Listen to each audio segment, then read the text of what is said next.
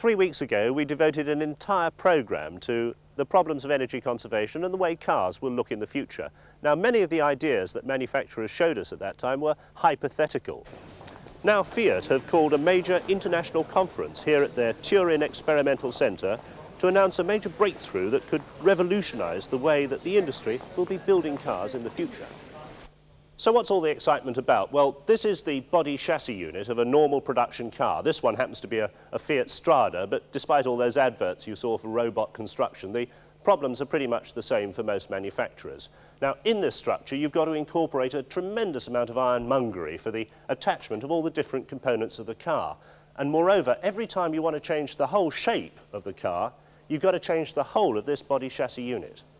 And now Fiat have stood the principle of this sort of uh, unitary body chassis construction on its head, and they've gone back to the old idea of a separate chassis. But instead of the, uh, the complete body being dropped onto a chassis, as we used to in the old days, they come up with this cage. It's built of three hoops, the, the rear hoop, the middle hoop, front hoop, and on these hoops they attach a separate back chassis and a separate front chassis, which can be changed for different sorts of model. Now, onto this cage, they hang all the different components of the car, the roof panel, the floor panel, the whole of the dash and the interior footwell, the whole of the front end, the bonnet, all the radiator structure, and at the rear, they can put on the boot and the whole of the rear end structure. It's all hung onto this very strong cage. So by altering the shape of these various hang-on bits, they can fundamentally change the whole appearance of the car while retaining this chassis cage structure. Now, look at this diagram. It, it, graphically illustrates Fiat's point. The, the top one shows the, the bare chassis, or if you like, a dune buggy. The middle one shows the, the car in a, a normal saloon car form. Next, we've got a, an estate car, and finally a hatchback. Now, simply by altering the rear end in each of these cases, they've achieved a whole new model range, but they haven't had to alter anything else on the car. Now, this is the most important point about the whole of this conference, because the parts that are hung on this steel cage we've been talking about are made of plastic. Now behind me is the die for the injection moulded plastic bonnet and that thing when it replaces a steel bonnet is 29% lighter. Uh, other components are made of plastic. These are the doors. As you can see, there's a, an inner and an outer skin, which they bond together with the conventional glass and winder mechanism. When they put it all together, the whole thing is 38% lighter than a steel door frame. Now, many other components in the car are made of plastic. For instance, the whole of the back end, uh, that's the inner and outer panels, the boot floor, and the, the stiffening bulkhead at the back of the boot are made of plastic. The whole of the uh, grille and the front end, the air intake, the bumpers, uh, the headlamp surrounds, that's all made in one plastic moulding. And the same thing applies to the dashboard. That all comes in one simple injection moulding to which the steering column, all the instrument gear, everything else fits in in a single module. Now this uh, clay master mould shows us what these uh, different plastic panels will look like when they're all brought together. So all that's remaining is to hang them all on that steel cage we saw, put in the mechanical components from a Fiat Strada and guess what we've got? What we've got is the Fiat VSS prototype, a rolling, living, breathing motor car.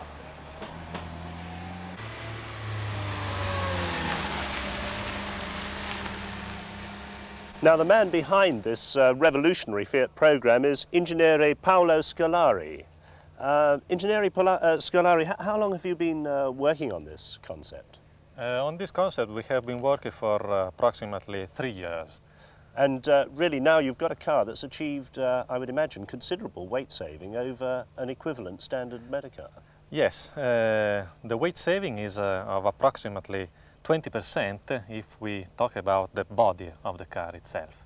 And that and represents a lot of fuel saving, presumably? Oh, well, uh, certainly yes. Uh, um, the weight saving has been of approximately 150 pounds, and that means that the, the fuel saving can be as high as 7 to 8 percent. Oh, indeed. So was that the primary objective of the programme, to save weight?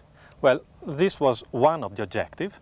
Uh, the other one was uh, to build a car that could be assembled in a much a simpler manner on the assembly line.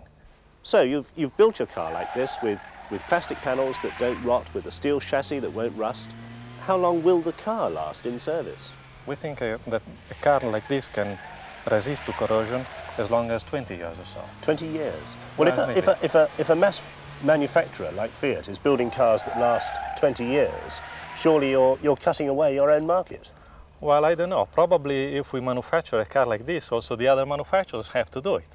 And how far away from production is this car? Well, the entire car, as you see it, uh, I think that we see it, uh, uh, we will see it in production in the second part of this decade, probably, not earlier than that.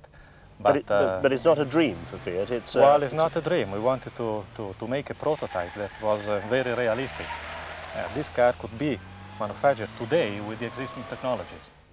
So there we are, the VSS prototype from Fiat, a, a revolutionary new way of making motor cars. But uh, the implications that this car holds for the whole of the world's automotive industry are quite stunning, really, when you think about it. We've got steel mills all over the world churning out ribbon steel for steel car bodies, and we've got an awful lot of people putting those bodies together. Now, if this concept is adopted of a, a very simple steel cage with plastic panels hung on it, all those people working in the industry as we know it today are going to have to fundamentally change their employment and their way of life.